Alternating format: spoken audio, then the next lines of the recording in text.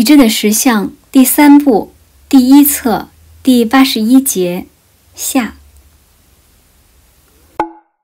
在进一步的讨论中，将包含一些原因，为什么其他个体的存在可能有助于对物质的灵性操纵。不过今晚我不打算谈论它。我还将谈谈你的成就，在回程的路上，你实际提高了车子效能的成就。虽然这基本上和鲁伯所达成的成就相同，但又有点不同。我还会解释为什么鲁伯没有从灵性上战胜他的感冒，尽管他努力了。虽然我知道鲁伯整天都在咳嗽和打喷嚏，但上我们的课对他的嗓子不会有任何不良的影响。或许上课还能让他的嗓子休息一下。我想继续这一节。但我已经多少给了鲁伯两周假期的许诺，而就我而言，他甚至还没有用到这个假期。我想我会让你们休息一下，我可能会，也可能不会决定继续。祈祷在使个人通过使用他们的灵性能力来操纵物质上一直极为成功。然而，上帝的概念是真实的，也是不真实的。神话与象征往往比所谓硬事实更接近实相，因为所谓的硬事实常常是外在感官的扭曲。不过，这些扭曲却是内在自己在物质宇宙中得以存在的必要架构。那么，再一次，即使是硬事实，也是既真实又不真实。所以，一个开放的心智或一个开放的灵。必定大到足以容纳看似完全相反的信息的空间。同样，神话与象征往往比所谓的硬事实更接近实相。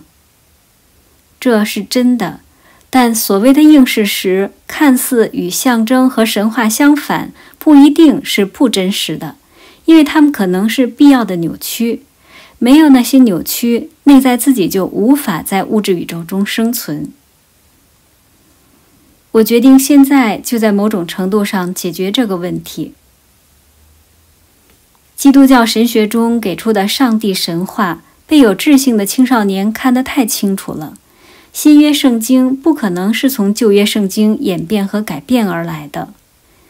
即使是一位成熟的青少年，在他的精神与情绪架构里。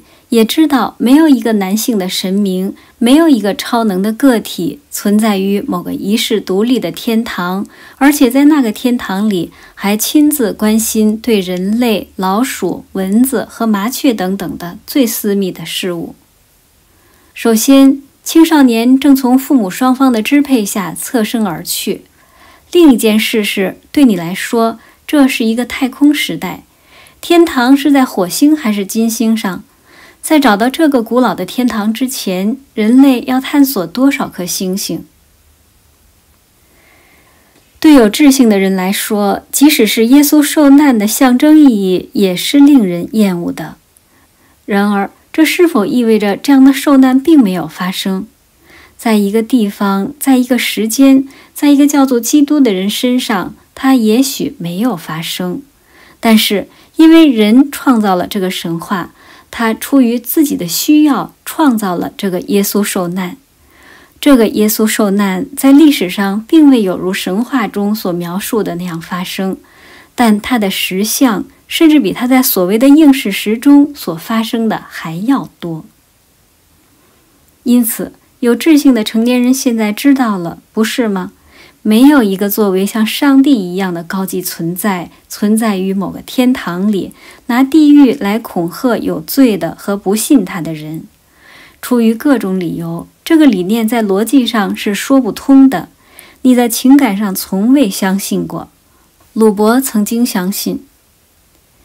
因此，这应事实似乎是没有上帝，似乎会有一个分离点：要么你相信神话。要么你相信那仿佛是的硬事实。没有宗教所宣扬的所谓上帝与基督、天国和十字架，但却真的有万能的造物和为信仰牺牲自我的救赎者。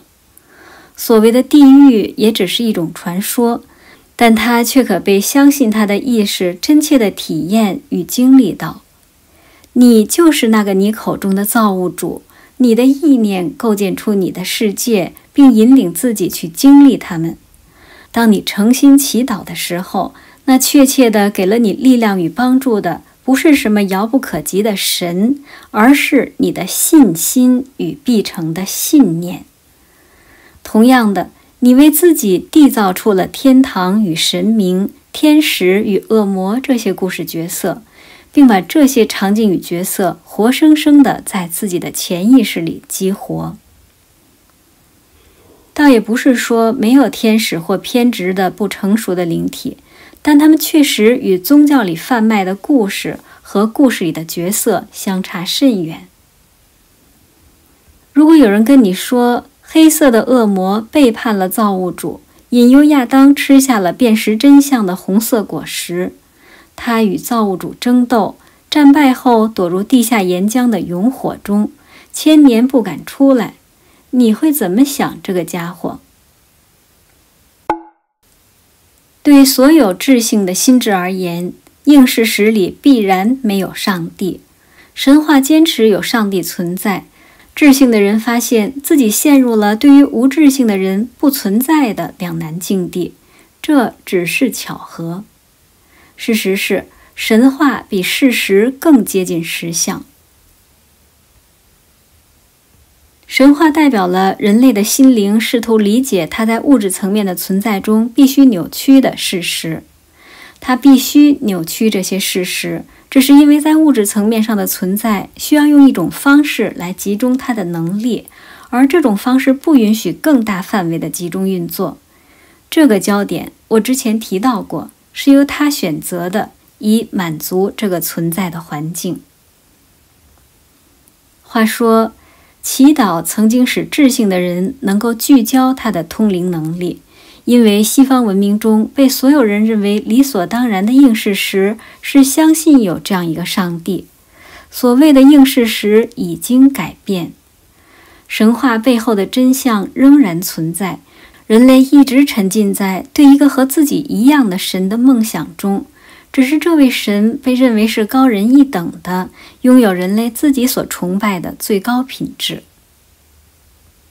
上帝的神话让他人能够赋予他所谓的更高直觉以客观性，而上帝的概念曾经代表并仍然代表着与内在自己的链接。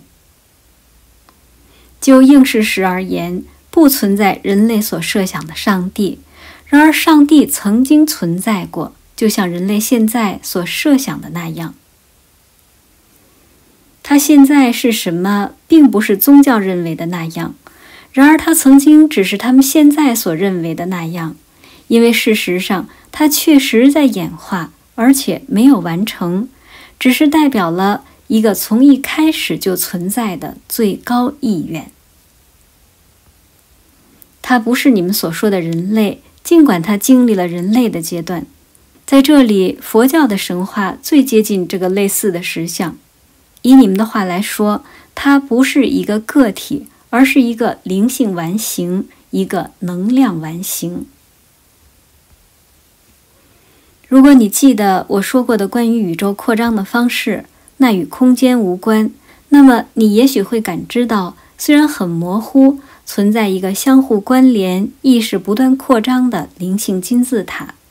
它同时和瞬间创造了宇宙和个体，这是通过个人视角、持续时间、智性、灵性的理解和永恒有效性的天赋而被给予的。它才是你们的上帝概念所暗示的。这个绝对的、永远在扩展中、瞬间的灵性完形，如果你比较喜欢的话，你可以称之为上帝。如今它的存在中是如此安稳，以至于它可以不断的自我分解、合并、重建它自己。它的能量是如此的难以置信，以至于它确实形成了所有的宇宙，而且。因为它的能量就在所有宇宙、所有层面和所有场域的内部和背后，它确实知道每只落下的麻雀因为它是每只落下的麻雀。这并不否定人类的自由意志，这确实被曲解了。那至高的能量确实以任何形式为存在而奋斗，而正义供你们参考，只是人类的一个说法，充其量也仅是个短视的说法。你们俩最好记住这一点。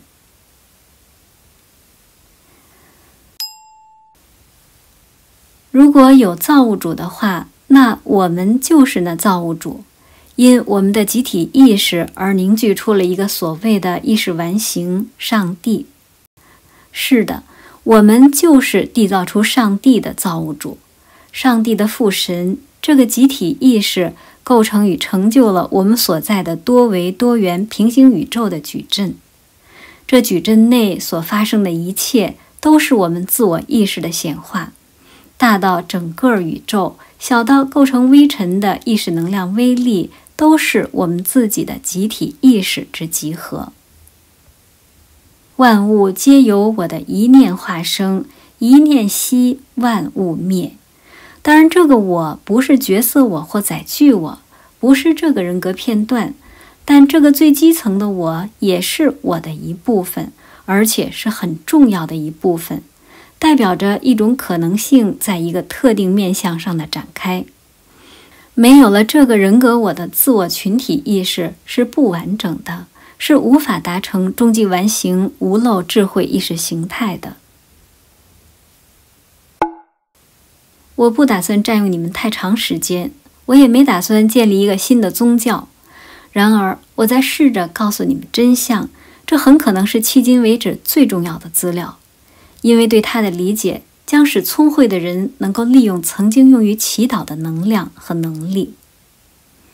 祈祷现在被回避了，如果没有人听，为什么还要祈祷呢？祈祷中包含着他自己的答案。如果没有白发慈祥的老父神来听，那么有的就是最初的不断扩展的能量，它形成了一切，每个人都是其中的一部分。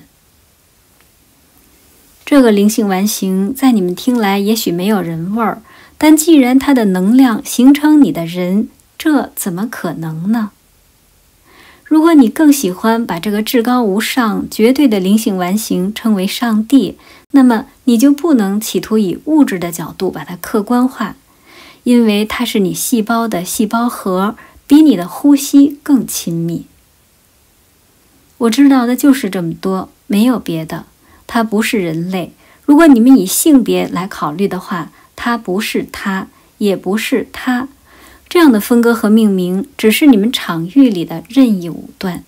它是由许多能量汇聚为一的，而且确实有一个无限的人格，但它是一个完形，所以确实没有开始或结束。因为我们说的是一种与空间或时间无关的扩展。是你和你们的同类甚至未曾梦想过的一种维度演化，正如一个理念的扩展改变了世界，但不占用空间，也不被你们的科学仪器发现。那终极而瞬间的绝对完形，如果你更愿意称其为上帝，也存在着且扩展着。有的人会说，这样的概念代表了对现实的逃避。然而，这些人只是一味地跟随他们的外在感官，他们漠视并害怕内在实相，以及实际上已经形成了他们引以为傲的现实之内在理念和梦想。诚然，至少在短期内，无纪律、歇斯底里的飞入这些领域可能是危险的，但有纪律、平衡、好奇和心智开放的追求。将导致自我实现、改善整个种族，且将成为释放天生的被抑制的能量，以实现建设性目的的途径。我将在另一个时间讨论耶稣受难的神话及其真实的强烈元素。由于你约瑟似乎有点坐立不安，我将结束这节课。你们已经学到了很多，这份资料会让很多人受益。这是非常重要的一节课。赛斯明确地告诉了我们，不管是唯物主义者还是唯心主义者，都因为自身的偏执错失了真相。我们单纯的外在感官与仪器永远无法找到可以验证成数据的意识，而那些由宗教故事与神的代言人组成的社团，除了忽悠无知的民众，其实根本无法引领人们找到自我内心中的真相。外企与外求，或外寻与外证，都无法真的看到真理的真容。